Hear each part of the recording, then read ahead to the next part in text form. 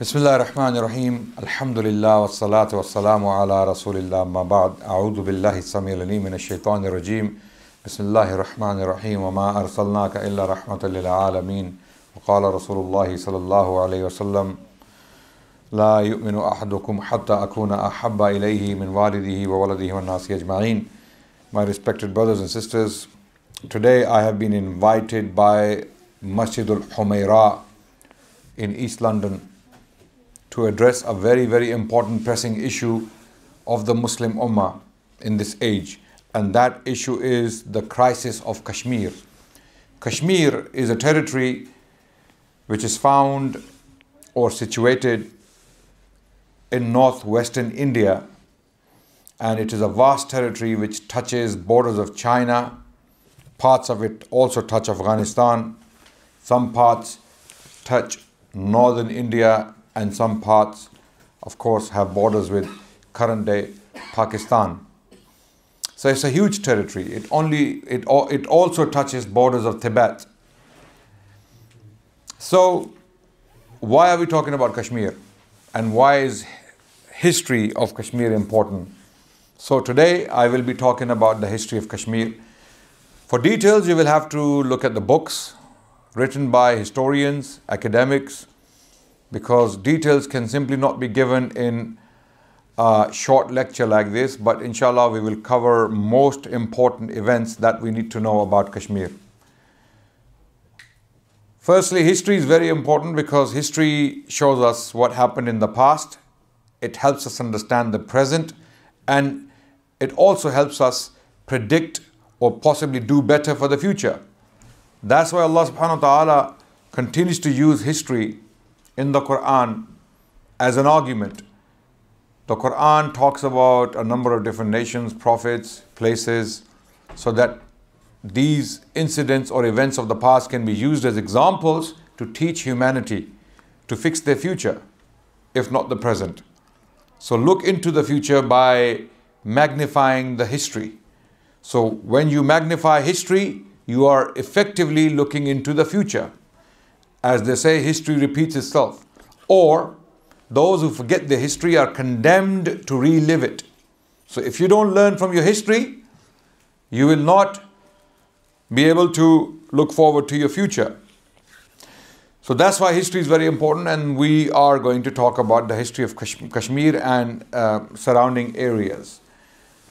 Kashmir is a conflict that is current.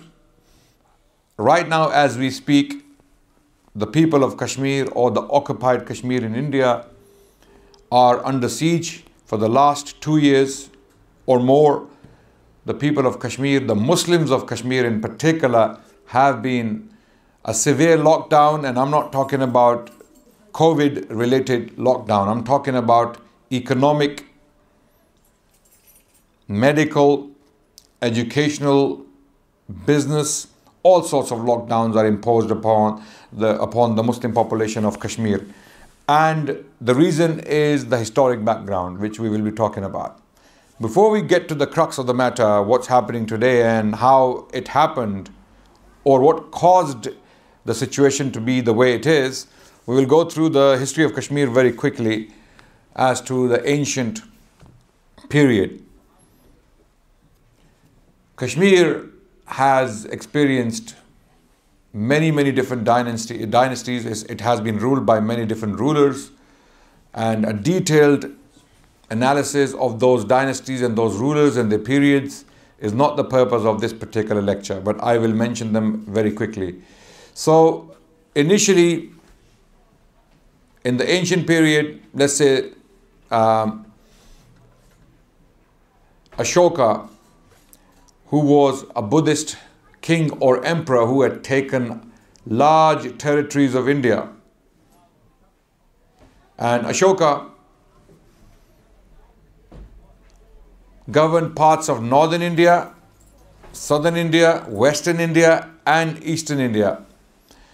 And it was only in his time, for the first time, at least for the known history, when India was near united under one government. India was near united, not all of it. large parts of India were united under Ashoka.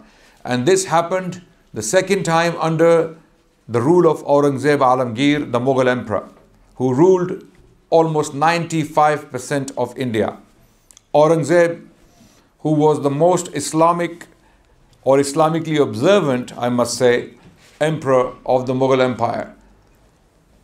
Emperor came before him and they came after him, but they were not as observant of Islam as he was. And for this reason, he is very much tarnished and hated and disliked by the right wing extremist Hindu element in India today. The current Indian government is basically trying to wipe out that history of Aurangzeb Alamgir. Aurangzeb had conquered large chunks of India. So Ashoka had introduced Buddhism in to Kashmir because he had conquered Kashmir and he was a great conqueror. So he had introduced Buddhism. So Buddhism became established. Later on, in the 5th, 6th, and 7th century CE, Hindus came and they started to wipe out the Buddhists. Many Hindu king, kings and dynasties came and they started to simply um, wipe out Buddhist um, traces from the land of Kashmir. When I use the term Kashmir, by the way, I'm using it loosely because the borders of Kashmir are disputed to this day. No government, no political entity has yet agreed as to what exactly is Kashmir or how big how big is it, um, and where are the exact borders because parts of Kashmir are claimed by at least three countries. At least three countries. China claims parts of Kashmir. For example, the territory of Ladakh. China claims that territory, and there's a dispute between China and India. Pakistan claims Kashmir as its own because the majority population of Kashmir is Muslim, and by that virtue, Kashmir should have come to Pakistan after the partition of 1947 when the British left India. Then India, which is an occupying force today, Kashmir is the largest uh, militarized area in the world. There are, there are close to a million soldiers in Kashmir, in occupied Kashmir. Why we call it occupied Kashmir is because this is exactly what the Muslims of Kashmir, the majority population of Kashmir, calls it. It is occupied territory, just like Palestine. It is occupied territory, right? So, just like Palestine, Kashmir is another issue. So, these Hindu kings in the 7th and the 6th and uh, the 8th century, they completely wiped out traces of Buddhism. Buddhists were simply driven northwards into Tibet, China, and Mongolia and actually, Buddhism was established in these lands later on in Tibet, China, and Mongolia through Kashmir. It, it was Kashmiri missionaries who came from Kashmir who preached Buddhism in these lands.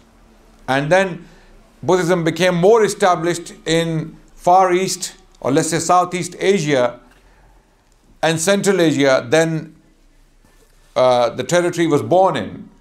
Buddha was born in northern India, current day, let's say Nepal, or parts of the, the borders of Nepal and India, right?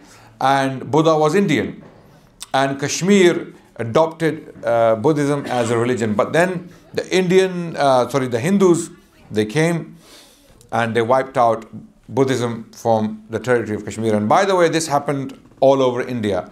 During the reign of Ashoka, uh, the dominant religion of India was Buddhism. So when this Hindutva narrative you hear all the time on the news that India is a Hindu domain. It has been so since uh, recorded history. This is a lie. This is a misconception. At one point, India was Buddhist, and then Buddhists were simply systematically wiped out by Hindu kings who came to power, in particular the Brahmins, the priestly caste. Uh, instigated these massacres and murders and you know genocides in some cases of Buddhists and Buddhists was systematically wiped out throughout India. And because Buddhists believed in a peaceful way of life, they found it difficult to fight back. Even when the Muslims came with Muhammad bin Qasim, rahmatullah during the Umayyad period, they found Buddhists in India at that time. But later on, uh, the influence of the Bud- uh, Buddhist uh, religious class was diminished. So Hindus came to power and different dynasties ruled the land of Kashmir up to the 14th century. We're talking about 1300s, CE, 1300s. And I am fast forwarding this history so that we can get to the, the main issue, the conflict, and what, was, what caused this conflict, which we find, find in Kashmir today. So Hindus more or less continued to govern. There was a Mongol invasion of Kashmir. By the way, Mongols went everywhere. Mongols attacked not only Syria and uh, parts of Central Asia, and Mongols went as far as Hungary, you know, in Europe. Mongols came to Pakistan and India as well. Mongols came very close to Lahore. Mongols even invaded Kashmir. So there was a Mongol invasion of Kashmir, and as a result, a Buddhist monk uh, came to power in the 14th century, precisely speaking. And after this Buddhist monk was allegedly converted to Islam, or he converted to Islam uh, himself, so says the legend, his vizier was called uh, Shah Mir. His name was Shah Mir, and he ousted his ruler, who was a Buddhist monk or an alleged convert to Islam. So Shah Mir became the first ruler of Kashmir, first Muslim ruler, rather, sorry, first Muslim ruler of Kashmir. And his descendants and his dynasty, the Shah Mir dynasty, lasted for almost another uh, 200 years. And one of the reasons this dynasty came to power was heavy taxation and oppression that was taking place before this particular uh, period, I mean, uh, when Shah Mir came to power. Sultan Mahmud Ghaznavi in the, in the 11th century also attempted to conquer Kashmir, just like he conquered parts of India. He came from Ghazni, current day Afghanistan. Ghazni was a center of learning. There was a lot happening in Ghazni at that time. Even uh, some famous epics were written at his court. For example, the famous Shahnameh, or that epic poem, the epitome of Persian literature, was written at his court. And Abu Rayhan al Biruni, who wrote a first systematic uh, treatment of the geography of India or the culture of India. I mean, his book is called Kitabul Hind, the Book of India. Abu Rayhan al Biruni was a scholar active at the court of or in the court of uh, Sultan Mahmud Ghaznavi, and he was sent to gather information from India on India. So he came back with Kitabul Hind. It's a very, very excellent treatment of uh, what was happening in India at the time, Indian religion, Indian culture, and all that. So Mahmud Ghaznavi tried to invade Kashmir and he did not uh, conquer it. He wasn't able to conquer it, so he focused elsewhere. The Delhi Sultanate period, the Muslim rulers who were ruling the Delhi Sultanate, uh, starting from Sultan Muizzuddin Shahabuddin Ghori, or Muhammad Ghori, also known as Muhammad Ghori, Muhammad bin Sam. His name was Muhammad bin Sam. He had taken large territory in northern India. In fact, the city of Delhi was taken by him. It was at that time or by that time ruled by a Hindu king called Prithvi Raj Chauhan. The Delhi Sultanate sultans who governed or ruled this sultanate after him, which governed large parts of northern India, and this was the first time in Indian history when Muslims came to power in northern India. Previously, Muslims were only in power in the south, or let's say uh, southwest, uh, current day Sindh province of Pakistan, or close to the territory of Multan or southern Punjab. This is how far the Muslims or the Arabs had come. So they governed this small territory within India. And even this territory was called Hind by the Arabs at the time but it was a fraction of Hind. The real powerhouse or the real power of Muslims was established in India in the north through the Delhi Sultans. So Delhi Sultans also attempted uh, to take Kashmir, but they were not able to do so.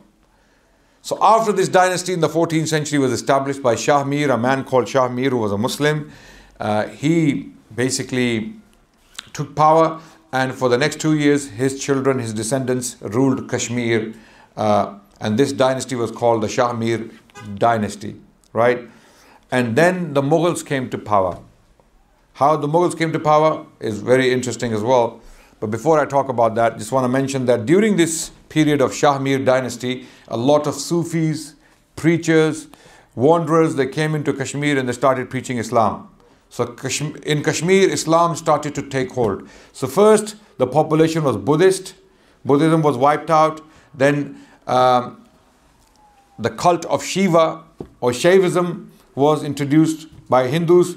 So people started to worship Shiva in the Kashmiri territory. So Shaivism, okay, was the dominant religion before the Muslims started to emerge on the scene. So after Shah Mir's dynasty or his taking of power, the people started to accept Islam from the 14th century onwards because a lot of Sufis and preachers uh, and these kind of characters were coming in and they were teaching their version of Islam, whatever the version of Islam was, because that was not really, strictly speaking, uh, uh, you know, the Quran and Sunnah, the Quran and Sunnah Islam, uh, they were teaching a mixed Islam to the people of Kashmir at that time. So that's why people followed a mixture of uh, Islam and some Hindu traditions uh, and some other ideas, right? So this wasn't strictly speaking. Later on, no doubt, uh, when people had become Muslim, uh, they started to take knowledge from uh, scholars, orthodox scholars who started to come in who started to teach, especially during the later Mughal, Mughal period and the Durrani period, which we'll be, talk, uh, we'll be talking about in due course, inshallah. So after the Shami dynasty, the Mughals came to power. Mughals took Kashmir. Uh, during the reign of Humayun, the Mughal emperor, the second Mughal emperor of India, Humayun, during his reign, Kashmir was taken by one of his generals and coins in his name were minted in Kashmir. So you, you find coins minted in the name of Emperor Humayun in Kashmir. But then that reign didn't last long because Humayun was ousted by Sher Khan. This is not the Sher Khan of Jungle Book, right? I'm talking about Sher Khan was his real name was Farid Khan. He was an emperor he was the ruler of India for almost seven years. And in the Indian history of Islam or the Islamic history of India, Sher Shah Suri, he was known as Sher Shah Suri, famously known later on as Sher Shah Suri, the Lion King Suri, right? His real name was Farid Khan. He was also called Sher Khan, Sher Shah Sultan, Sher Shah Suri. So he was known by different names. So he ruled from um, 1538, 1539 to 1545, about six to seven years. He had ousted, he was a general for the Mughals. He was an Afghan originally. He had ousted the second Mughal emperor, Humayun, and the Mughals had almost lost their empire in India, which was initially carved by the first Mughal emperor, Zahiruddin Babur. So Sher Shah took power, and after him, his sons came to power. So because Humayun was ousted, Kashmir was lost. Then, long story short, the Suris, after Sher Shah was killed in a battle, the, uh, the, deposits of gunpowder exploded and he was burnt as a result in a battle when he was trying to conquer a very, very difficult fortress in Western India, sorry, Eastern India rather, Eastern India near Bengal, and he was burnt. As a result. So his son came to power and he couldn't hold on to power. Islam Shah Suri couldn't hold on to power. I mean, he ruled, but after him, his successors, they started to fight each other. So Humayun saw his chance again. He was taking refuge in Persia at the time. He came back and he conquered India, India again. And then he died soon after himself, after taking power back. He died, he fell from his library uh, he fell from the staircase in his library and he died. His son Akbar, Jalaluddin Muhammad Akbar, the famous Akbar, came to power. And then in 1580s, Kashmir was taken by him to remain in Muslim hands for the next 300 years. So Kashmir was ruled thenceforth for 300 years once the Mughals had taken Kashmir for Muslims again. So this happened in the 1580s when Jalaluddin Muhammad Akbar had sent his armies and coins in his name were minted in the city of Srinagar. I have some of those coins in my possession, my personal collection, where Muhammad Akbar's coins were minted in Srinagar, in the city of Srinagar, right? So, thenceforth, Mughal emperors continued to govern Kashmir effectively, and these emperors loved the territory of Kashmir. It was paradise on earth for them. And no doubt, Kashmir, the territory we're talking about, is mountainous. It is absolutely beautiful. Anyone who has been to any parts of Kashmir, because Kashmir has a lot of variety of landscape, uh, you will, uh, if not forget Switzerland, you will do a comparison between Kashmir and Switzerland. This is how beautiful Kashmir is. You know, people talk about natural beauty in Switzerland. People talk about uh, highlands in Scotland. People talk about North Wales. Kashmir is no less. Wallahi, when you look at the natural beauty in Kashmir and the wildlife as well is very, very rich. People hardly know about the virtues of Kashmir, how beautiful and how uh, healthy a territory it is. So the Mughal emperors, when uh, heat would get, get to them, they would simply pack their bags and they would make their way to Kashmir. It would take them a year to get there because Mughal entourage, uh, you know, the Mughal caravan was a moving city. So Emperor Jahangir was very fond of Kashmir. So was Shah Jahan and other rulers as well. Of course, Aurangzeb was a lot busier than the previous emperors because he had uh, opened many, many fronts for himself. So he uh, you know, didn't enjoy Kashmir as much, but the previous emperors were very much involved in Kashmir. So Kashmir remained a Muslim territory throughout the Mughal period. It remained a Muslim territory. And uh, uh, Mughal governors were appointed in Kashmir, and in this period, uh, Kashmir became a pioneer of many, many, many artistic, um, um, uh, how can I put it, trades, artistic uh, excellence uh, when it comes to uh, you know artwork uh, in calligraphy for example uh, shawls cashmere shawls were very very very popular. Even later on during the british period these shawls would be brought to britain. And during the victorian period the british people loved these shawls that came from uh, kashmir. You know this cloth called cashmere have you heard of it even today, I mean, if you go to one of these uh, big shops to buy clothes or designer clothes, they have this type of uh, substance or this fabric, they call it cashmere. This is where the word comes from, by the way. It's from Kashmir, right? So, Kashmiris, they pioneered production of shawls, they pioneered uh, decoration of manuscripts. If you collect manuscripts, if you look at books, some of the best artwork came from Persia. Persian artwork was beautiful, Persian calligraphy was beautiful, and Herat, which is currently Afghanistan, manuscript production from Herat was beautiful, and Kashmir was also on top with these uh, locations where people who would uh, you know decorate Islamic manuscripts uh, with gold illumination. So if you go on Google, this is your homework and type Kashmiri Quran manuscript. Just type in Google Kashmiri Quran manuscript, you will see some wonderful artwork from the Mughal period and beyond.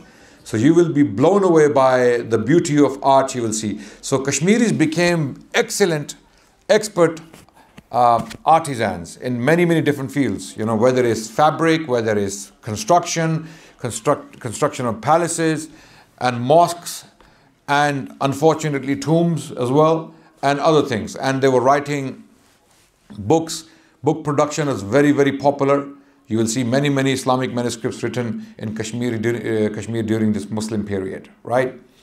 So Kashmir um, progressed very, very, very fast during the Mughal period. You can call it the golden age of Kashmir. The Mughal period was generally the golden age in India, although Hindutva goons and thugs will deny that.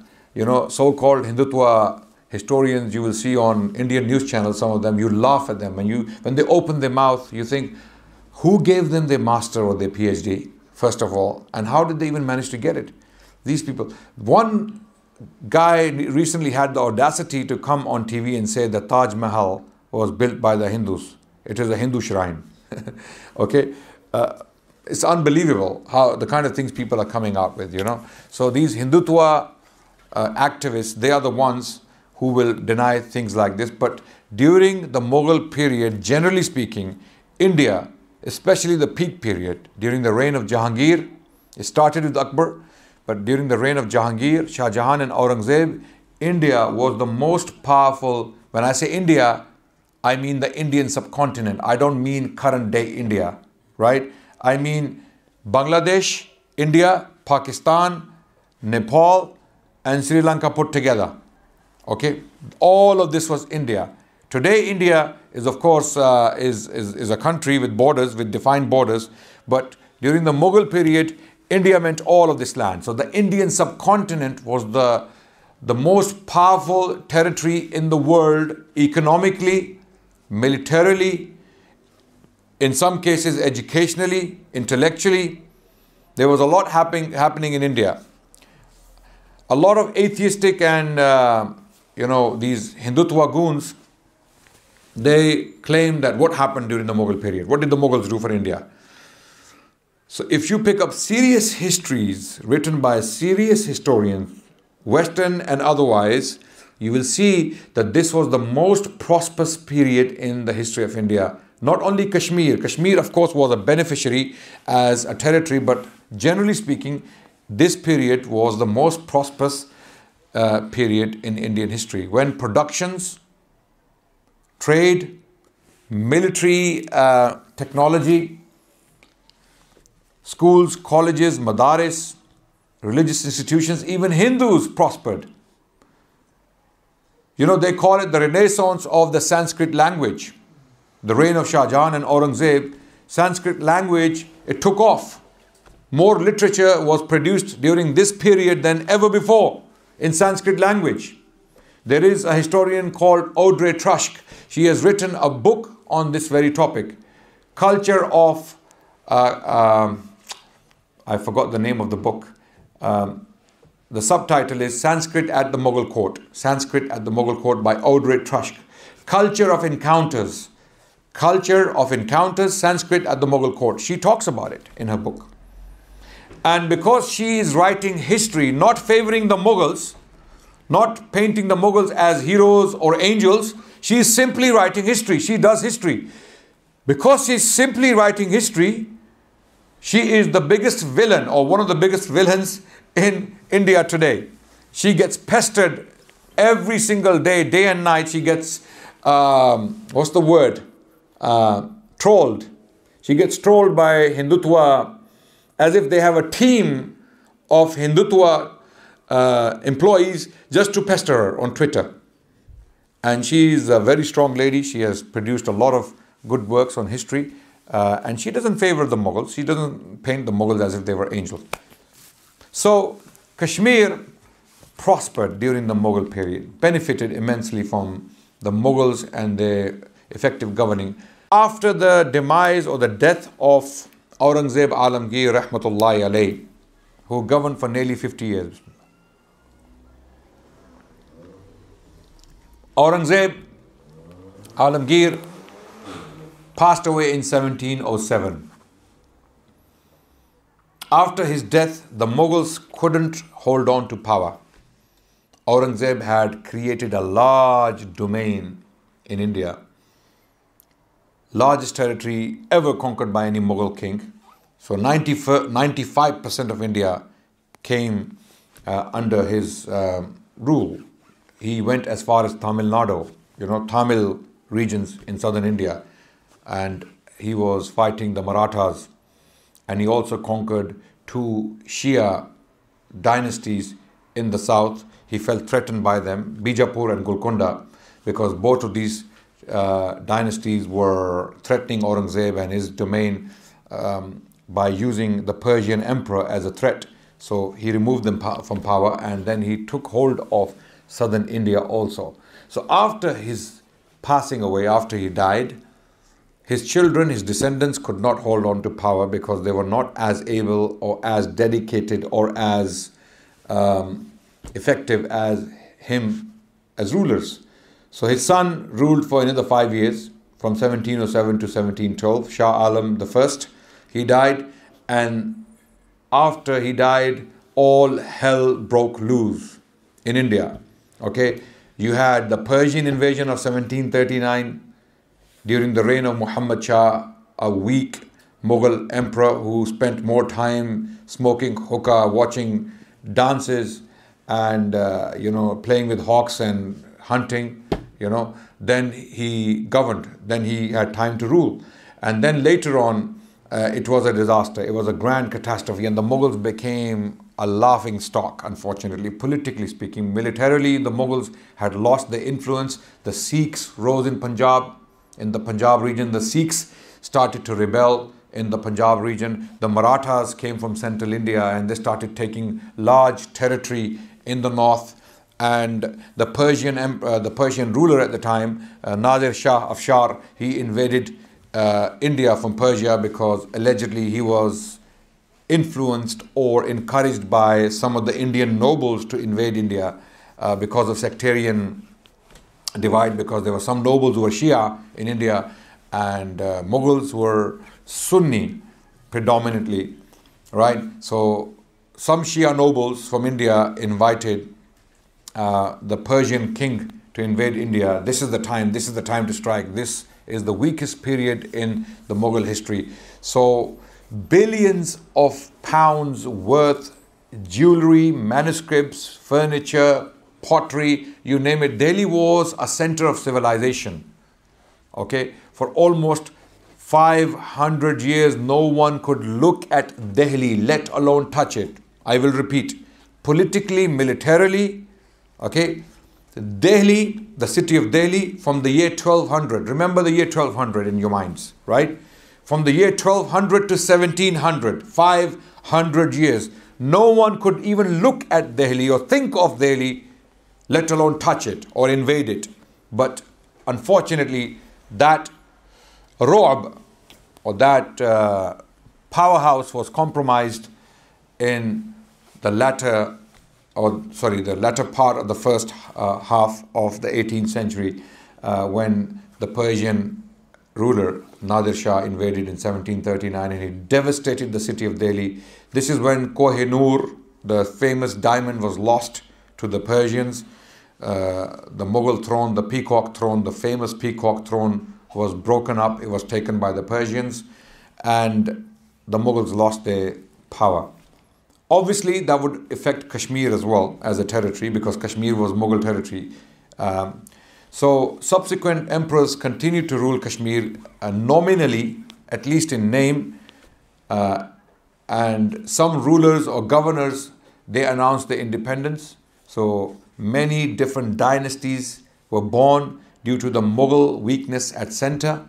So, you had the Marathas, the Sikhs, and the Nizam of Hyderabad, Nizam Asif Jah, he announced his independence because he had no choice, because the center was weak, there was no powerful general or ruler to bring everyone together, right? Now Durranis come into scene. Durranis were rulers who came from Afghanistan. Their head or the founder was Ahmad Shah Abdali. Ahmad Shah Abdali was a soldier in the Persian army when Nadir Shah invaded India, Hindustan at that time in 1739. Ahmad Shah was a young man at the time, right? And don't forget the Pashtun tribes in this region, in the tribal regions of Pakistan and bordering areas of Afghanistan, or wherever the Pashtuns exist in Afghanistan, one of the famous occupation of the Pashtuns at that time was to become mercenaries, to offer their military services to anyone who paid. Okay? But at the same time, Pashtuns were Muslims, Sunni Muslims, and uh, they had ghira for Islam as well. At, at times, they did fight for Hindus, they did fight for Sikhs, they fight, fought for others, the Mughals, they fought for Mughals. Mughals would take their services. So these Pashtun soldiers from the time, you would see them walking around in the markets of India offering the services as guards. Okay, a lot of people would argue nothing much has changed even today, you know. Most chokidars, most guards in Pakistan, yeah, they are Pashtuns because they're tough people. You will see most guards, I'm not saying the Pashtuns are only for that work because our prime minister in Pakistan is a Pashtun as well. You know, Imran Khan is a Pashtun, right? So a lot of people, they think Pashtuns are for that kind of hard work, you know, hard labor. But this is what they were known for. They were, they were a martial race right? They were good in military. So Ahmad Shah, he was a Pashtun who was serving Nadir Shah, but then he separated himself after Nadir Shah was killed in his tent in 1747. In 1747, Nadir Shah, the ruler of Persia, was killed in his tent, and Ahmad Shah, who had uh, become very close to Nadir Shah by then, he occupied or somehow got his hands on the treasure. He get, basically he was able to capture the treasure of Nadir Shah, Nadir Shah, or parts of it at least. And because of that treasure, he was able to raise an army of his own. Cut the long story short, he announced his independence and he became the ruler of Afghanistan. He became the ruler of Afghanistan. And his capital was Kandahar. He ruled much of Afghanistan. If you look at his coins, his coins were minted at Kabul. His coins, actually, he even ruled parts of Persia, even parts of Iran were ruled by him. You will find coins of Ahmad Shah Abdali minted in Mashhad, Mashhad-e Muqaddas, which is a holy city for the Shia. Ahmad Shah, who was a Sunni, his coins were minted at Mashhad, in Mashhad. I have them in my possession, by the way, in case you think I'm making these, these things up, yeah? So, Ahmad Shah ruled a large territory and he invaded India uh, many times for the same reason to gain wealth, to take advantage of the weak situation there. He was a king. Kings are usually scavengers. You know, they, they go into other territories when they want to get rich, they want to get wealth. But one time, he did something great for the Muslims. And what was that? to break the back of the rising Maratha power. I'm coming to Kashmir, by the way, in, in case you think I've, I've, gone into another history now. The history of di- history of Durranis is being told. No, Durranis are directly relevant to Kashmir. That's why I'm just giving you a very quick background to that. So, uh, when India was invaded by the Persians in 1739, the situation of Delhi was made very weak. Now the Marathas were invading. Marathas captured the city of Delhi so Marathas from central India, they started to come to the north and they were devastating villages, towns, cities, burning, pillaging, raping. Uh, you know, they were the most devastating force in the history of India, by the way. Okay, today, nowadays, Bollywood, Bollywood glorifies them as heroes, as angels, as some sort of heaven, heavenly divine beings who landed from the heavens and they made India a beacon of light and civilization. In fact, to the contrary, the Marathas were the most devastating, dangerous, deadly force India ever witnessed. Witnessed for Hindus, for Sikhs, for Christians, and for Muslims, for everyone. They didn't care. They didn't care. They raped, pillaged, destroyed with impunity, without mercy. This is what the Marathas were doing, right? When you watch Bollywood movies, you are shown a completely distorted version of the Marathas. For example, in the, the movie called Panipat, which is what I'm going to talk about, the Battle of Panipat, the third Battle of Panipat in 1761. Why did it take place? Because the Marathas were coming to the north. Whenever they felt felt like pillaging and they were short of money or something, they would come and they would charge a chauth. Chauth is basically one fourth of the wealth or the income of the people. So if you have a harvest, they would take 25% of it. They were very, very, very uh, harsh with people. Uh, they went as far as Bengal, they, went, they came into Punjab, they even occupied Lahore. They went as far as Attock, Pakistan, near Peshawar. The Marathas took Attock, right? So, to deal with them, Ahmad Shah was invited by the Muslims of India, in particular Shah Waliullah, who was a scholar in Delhi. He is uh, given credit for this. Uh, this is another history. I will stop here and I will address the Battle of Panipat and the Durranis in another sitting. But now I will move on to the issue of Kashmir, how Durranis are relevant to Kashmir. So Ahmad Shah defeated the Marathas in this battle, which took place in 1761 near Delhi, in a place called Panipat, and the Marathas were broken, destroyed, decimated. For the next 20 years, the Marathas did not return uh, to pester the northern uh, people of northern India. When Ahmad Shah had defeated the Marathas, naturally his domain had increased within India. So he occupied Kashmir as well. The Durranis occupied Kashmir. So Ahmad Shah's coins were minted in Kashmir, Kashmiri territory. From Mughals, it was shifted into the hands of Durranis. So Duranis were very, very harsh on the Hindu population of Kashmir, no doubt. They imposed heavy taxes and um, this caused a lot of resentment uh, within the Hindu population. The majority of the people in Kashmir by now, by the Durrani period, close to 80% like they are today. I mean, the ratio survives to this day, amazingly. Uh, 70 to 80% of the population of Kashmir, occupied Kashmir, to this day is Muslim. The majority of the Kashmiri people are Muslims, right? 20 to 25% are Hindu, uh, mostly Brahmins, Hindu Pandits they are called, and they have uh, lived together with the Muslims since then. So the Durranis came to power and Durranis ruled for the next three generations effectively. Ahmad Shah, after him came his son Taimur Shah, in whose name coins were minted in Kashmir. Again, Kashmir, loosely speaking, territory between Ladakh and uh, parts of northern India. It's a huge territory. It's a huge territory. Jammu and Kashmir, both territories. Jammu was, of course, at that time seen as separate. Later on, it was united with Kashmir. Why? I will be discussing that, inshallah. So, Durranis ruled for three generations.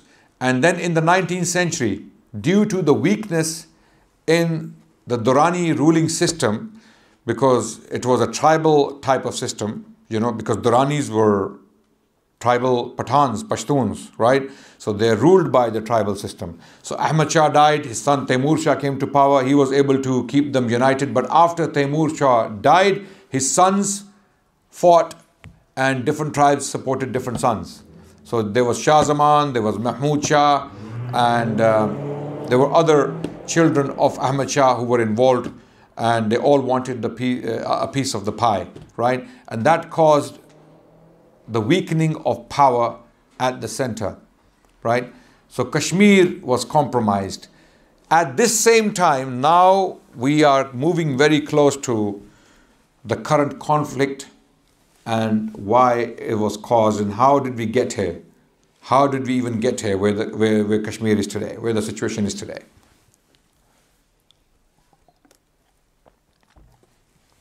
In 1819, a Sikh ruler who had taken large parts of the Punjab. As I mentioned earlier, when Mughals declined, the Sikhs they started to rise and they started to take large territories. So Punjab, loosely speaking, was governed by 10 groups of Sikhs. They called them misls. They called them misls. 10 misls of the Sikhs governed uh, most of Punjab and they also call them jatha. Jatha means a collection of people. Okay, it's like a jaish. It's like a Jaish in the Arabic language or a Lashkar. 10 Lashkars or 10 uh, military groups of Sikhs ruled Punjab. So a man called Ranjit Singh was born in Gujranwala, current day Gujranwala in Pakistan near Lahore. And this territory was ruled by the Sikhs at the time. And cut the long story short, he came to power when he was nearly 19, 20 years old. He took the city of Lahore from one of the Sikh groups that was notoriously uh, cruel.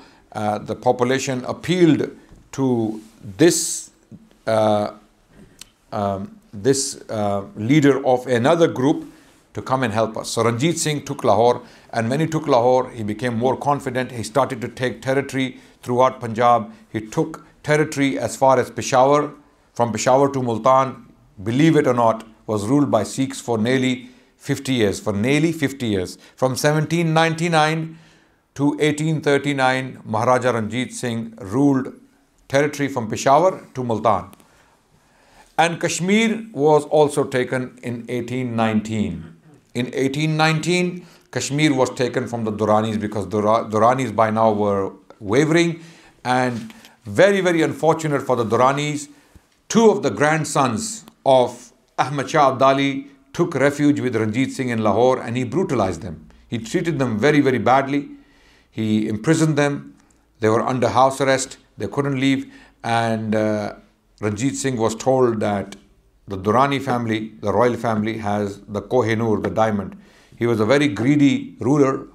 Uh, most rulers are greedy, no doubt. Okay, but he was excessively greedy. Maharaja Ranjit Singh. He wanted the Kohinoor in his treasury. So he forced the Durrani royal family. Uh, he searched the apartments, the private chambers where women were. The Sikh soldiers went in there and they searched the whole house or wherever the, the family was kept in Lahore and they found the Kohinoor. Okay. So the Ranis were themselves taking refuge with the Sikhs at the time. So Maharaja Ranjit Singh took advantage, conquered the territory of Kashmir, even though the, the majority of the population was Muslim. So he appointed governors after governors. And after the first Anglo-Mysore, sorry, Anglo-Sikh war, which took place in 1846. 1846, after Maharaja Ranjit Singh died in 1839, his sons could not hold on to power. They were killed one after another. Okay, and in 1846, uh, the British decided that they will annex Punjab. Punjab is a rich territory, the land of five rivers, very, very fertile, only second to Bihar, Orissa, and Bengal. So Punjab must be taken as a breadbasket for the empire for the British Raj and its survival, the Punjab is absolutely must. We have to take it by hook or by crook. And Sikhs were very much trained by now. They were organized as a military, so it was not an easy task to take the ter- territory of Punjab from the Sikhs. So the Sikhs were defeated in this battle uh, called the First uh, Anglo Sikh War. There were two, there was another one later on, two to three years later but this was the first one, 1846. And as a result of this battle, the British, they signed a treaty with the Raja of Jammu, who was a Hindu, Dogra. These people were called Dogras. Okay, the, the caste or the nation was called Dogras. The Dogra Rajas of Jammu, who were active at the court of Ranjit Singh, they were vassals of Ranjit Singh. Now, because Ranjit Singh is gone, he's dead, and the situation looks grim. So the Raja of Jammu, Gulab Singh bought, bought having paid money, uh, 7 million rupees. Today, 7 million rupees is nothing, 70 lakh rupiah, right? It's nothing. You can't even buy a plot in Islamabad or, or Rawalpindi with that kind of money, right? Right? But that, that time, 70 million rupees was a lot of money, a lot of money. So the British sold the territory of Kashmir, not Jammu, the territory of larger Kashmir to Maharaja Gulab Singh, the Dogra family, right? Uh, and they were Hindus, and they were very active in the court of Ranjit Singh. In fact, they, they were involved in many, many court intrigues as well. So now Kashmir was given to a Hindu Raja to rule. From Sikhs, from Durranis, it was it came under the Sikhs. From Sikhs, it came under the, the Dogra family. And then the Dogras, they started to oppress the Muslim population severely because they felt threatened by the Muslims of Kashmir because they were the majority and the Dogras were Hindu who were ruling uh, a large Muslim territory. So, to do away with the threat, they started to impose heavy taxes upon the Muslims to keep them poor, to keep them subdued, to keep them miskeen, so that they, they don't rise. They don't even think of rising. They are so worried about their stomachs and their kitchen and their food that they don't even think of rising. So the Muslims are systematically marginalized politically, educationally, on all fronts by the Dogras. They oppressed the Muslim masses. Fast forward to the British period. Now, the Dogras, by extension, because the treaty was struck between the Dogras and the British after the Sikhs had been defeated, so that, that territory was given to the Dogras. Maharaja Gulab Singh. So now the Dogras effectively became vessels of the British. The British were now basically uh, the overruling power. You know, the British were supervising the Dogras. The Dogras had their semi-independence within, within Kashmir and Jammu. So this state became the state of Jammu and Kashmir. The state of Jammu and Kashmir ruled by a Hindu family. So the British were obviously uh, supervising the Dogras, and the Dogras were allies. And during the mutiny of 1857, when the, the, the Indian um, soldiers within the British army they rose in rebellion and they, uh, they mutinied, and the British almost lost their power.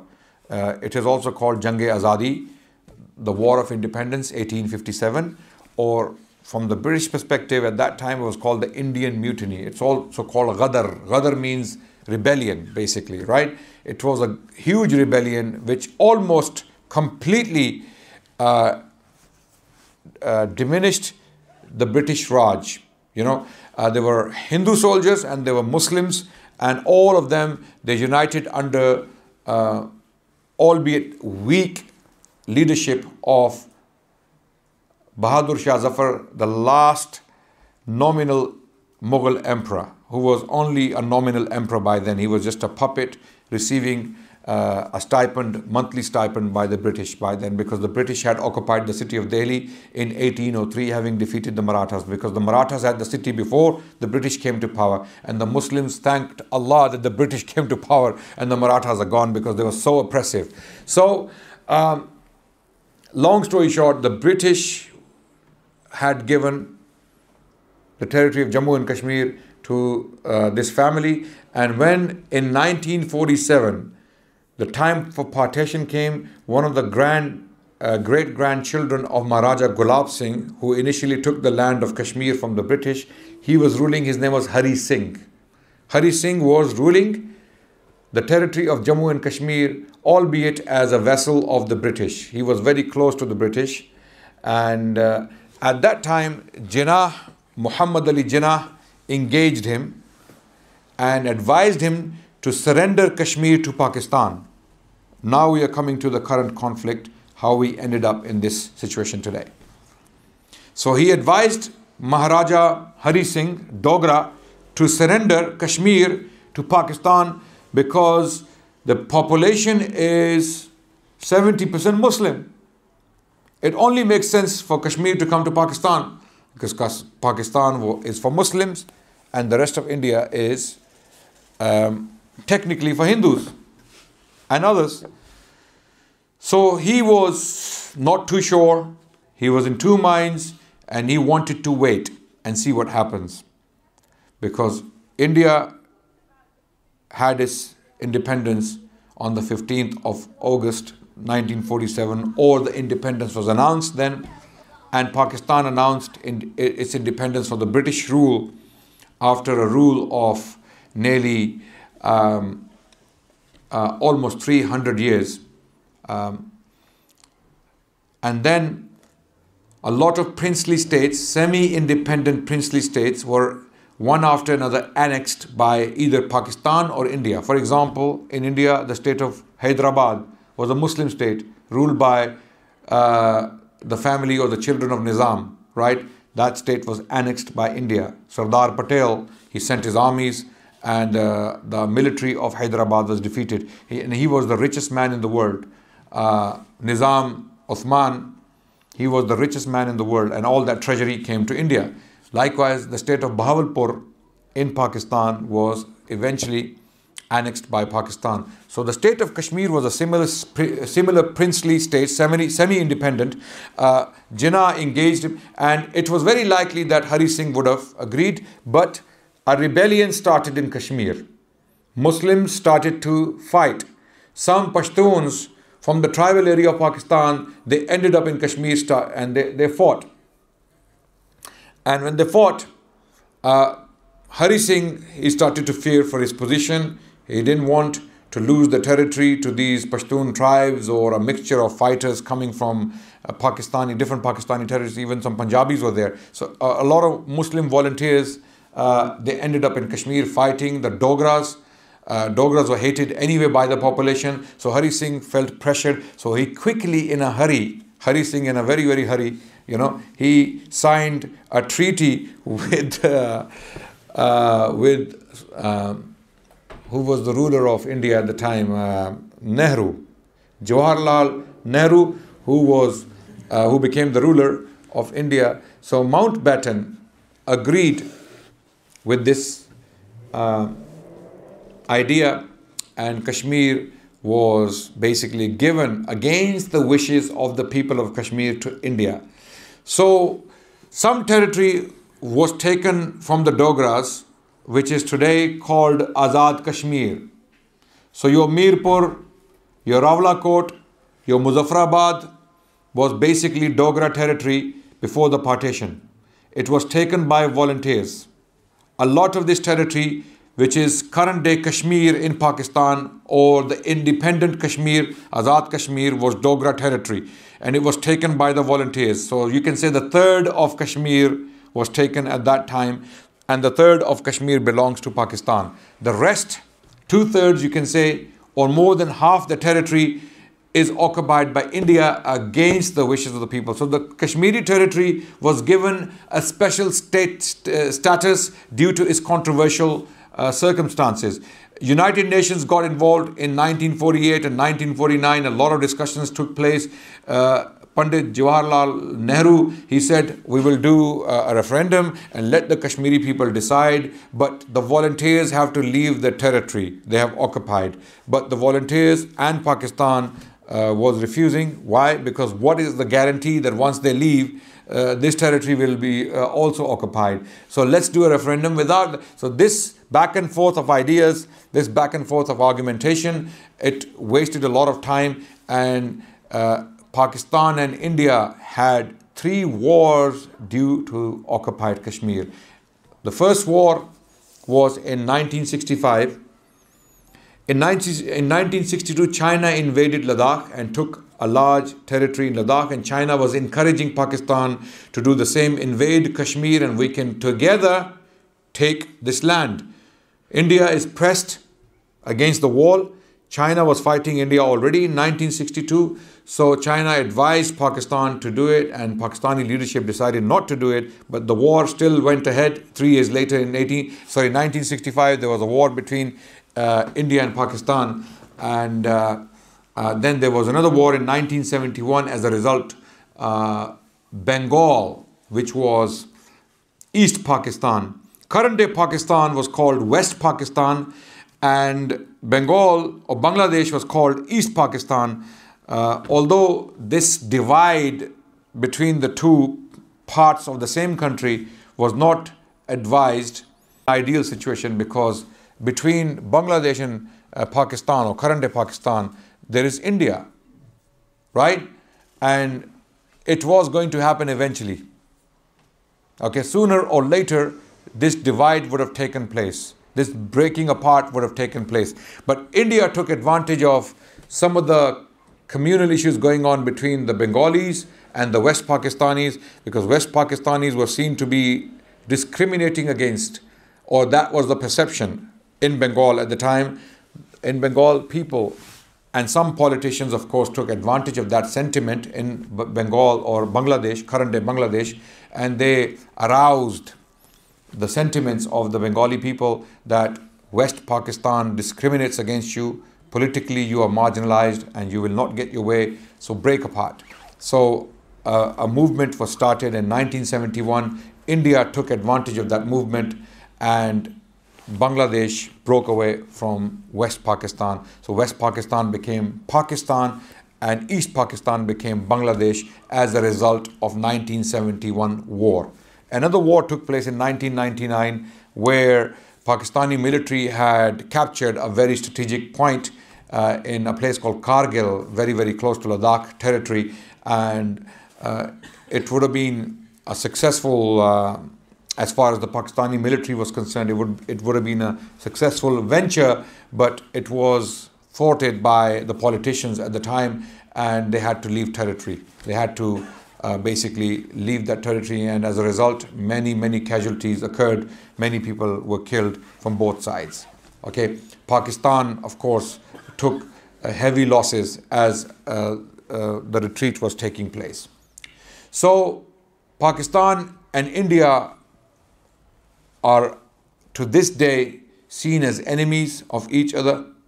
They are both nuclear powers. And the reason they are nuclear powers is Kashmir. Conflict.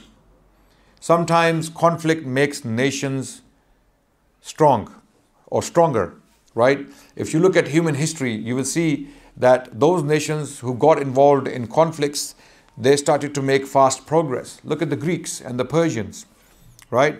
Um, look at the Romans, for example. Later on, uh, look at the Muslim empire, how Muslims uh, when they were in conflict with the Persians and the Romans, uh, they made very, very fast progress, militarily speaking. Of course, the Muslims had the Quran and the teachings of the Prophet behind to inspire them, but conflict has something to do with it. So, the reason why India and Pakistan are nuclear powers is because of Kashmir. They felt the need to build these weapons so that they can defend each other, sorry, defend um, themselves against each other. So, this is the long story short, the history of Kashmir and the current conflict. There are many, many, many more details I could have given. Unfortunately, the time doesn't permit me to do so. This was a very, you can say, brief or a short introduction to the history of Kashmir and the current conflict. It is there, and Kashmir is occupied. The Indian military is occupying Kashmir against the wishes of the people the people of Kashmir, the occupied Indian side Kashmir I'm talking about, not Pakistani side, because there is no occupation there. The people of Muzaffarabad or the people of Mirpur or the people of Rawalakot or the people of other cities on the Pakistani side are not fighting the military.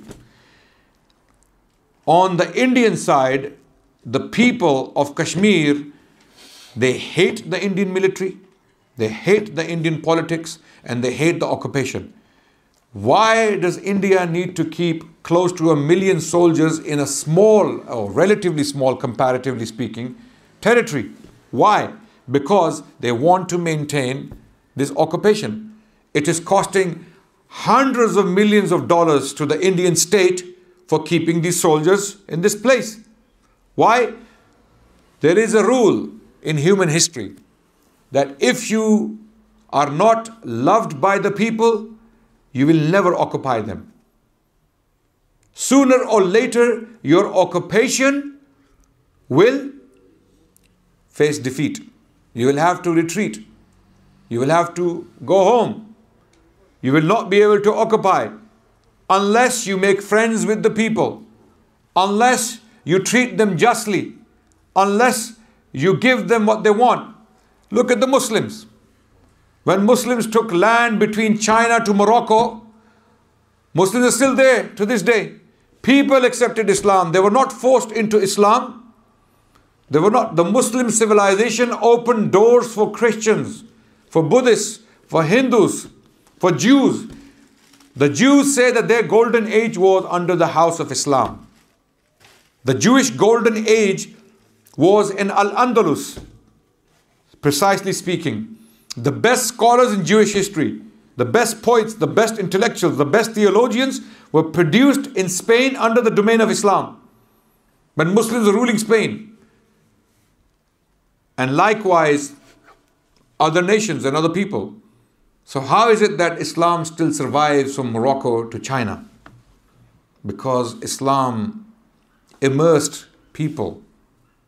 Even the Mongols who came out to break, break Islam and Islamic spirit, even the Mongols were defeated by Islam, not by the Muslims, no doubt. The Mongols were a very powerful, devastating force.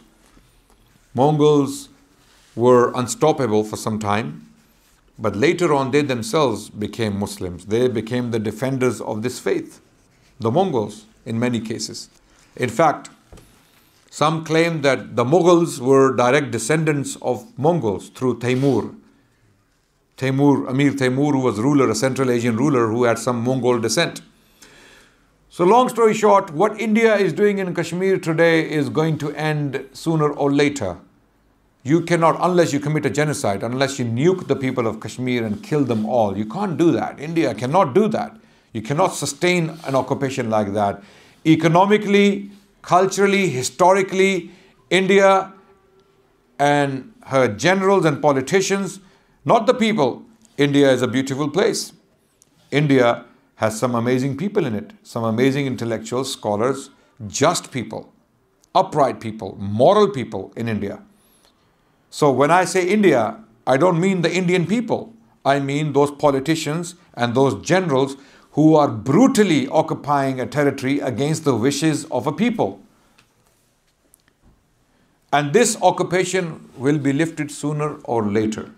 So in 2019, the current government the BJP government of India, the terrorist, extremist, and uh, the, the destructive government of India, which is bent upon breaking India apart into further 10 pieces, you know, because they are messing with the Sikhs, they are upsetting the Muslims, they are upsetting the Christians, they are upsetting almost every Indian even their own followers now have realized that this is a bunch of terrorists and extremists who have come to power. Some of them are known criminals who have come to power. They have made speeches encouraging their followers to commit a genocide of the Muslims. Right? This government has imposed a lockdown on the Kashmiri people. And since 2019, Kashmiri people have been under this severe lockdown. And uh, we pray that Allah subhanahu wa ta'ala liberate the people of Kashmir and we pray that the, the government of the current government of India, the current government of India um, is brought back to senses and this issue is resolved as soon as possible. We want peace for the world, not injustice and destruction. So we ask Allah subhanahu wa ta'ala to keep this world peaceful and allow the people of Kashmir to live as they wish. Jazakumullah khairan for listening. Wassalamu alaikum wa rahmatullahi wa alhamdulillahi rabbil alameen.